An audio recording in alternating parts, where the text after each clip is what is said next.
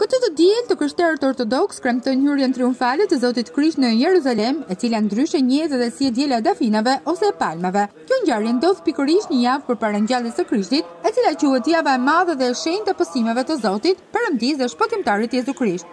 Kjo është edhe java e fundit e periudhës së Kreshmimit për besimtarët ortodoks. Zoti Krisht, pasi kishte predikuar për tre vite e gjysmë dhe kishte kryer mrekulli të panumërta në popull, e dinte që misioni i tij për shpëtimin e njeriut po shkonte drejt finalizimit. Të gjitha ngjarjet që ndodhin përgjatë kësaj jave të madhe dhe të shenjtë, tregojnë dashurinë e pafundme që ka Perëndia për njeriun. Konkretizimi i kësaj dashurie nis sot, të dielën e Dafinave, Ndërkohë që përgatiten për të përjetuar ngjarjet tragjike të javës së madhe, Ungjilli i sotëm ofron tri ngjarje që i paraprijnë pësimeve të shenjta dhe ngjalljes së Zotit Krisht. Ngjarja e parë që paraqet Ungjilli i sotëm ndodh në shtëpinë e Llazarit, të cilin Krishti e kishte ringjallur nga të vdekurit. Motra e tij, Maria, si mori një litër miro prej nardi të papërzier, shumë të shtrenjtë, leu këmbët e Jezuit dhe me flokët e saj fshiu këmbët e tij. Edhe shtëpia u mbush me erën e mirës. Ky veprim paratregon pësimet e shenjta që do të vuante Zoti Krisht dhe varrimin e tij. Ngjarja e dytë ishte komploti dhe intrigat që po thurnin kryepriftërinjtë dhe farisenjtë kundër Krishtit.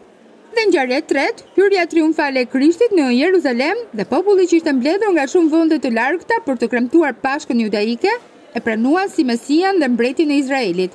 Zëri i popullit jude mbushte rrugët e qytetit të shenjtë duke broritur, Hosana! I bekuar është ai që vjen në emrin e Zotit, Mbreti i Izraelit! Zoti Krisht hyn në mënyrë triumfale në Jeruzalem. Ai nuk përdori as pushtet politik, as pushtet ekonomik dhe as pushtet ushtarak. Por, përulësi. Ai mori mëkatet tona që të na i falë ato, shkatërroi pushtetin e ferrit dhe fitoi mbi vdekjen. Prandaj dhe sot ndahen dafina si shenjë e fitores së Krishtit mbi mëkatin dhe vdekjen.